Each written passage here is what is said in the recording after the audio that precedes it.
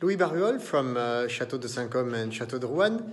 Today I talk to you about uh, Chateau de Rouanne Red Vinsobres 2018 in the magnificent aging cellar of uh, Chateau de Rouanne.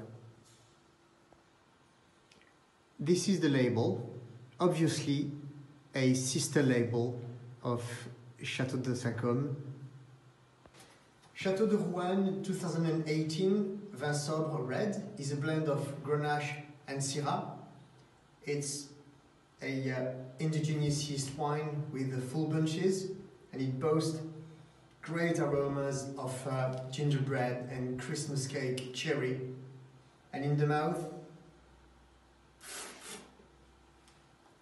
there is the magical saltiness uh, which you find in every single Rouanne wine and um, will give you a lot of pleasure. Please enjoy.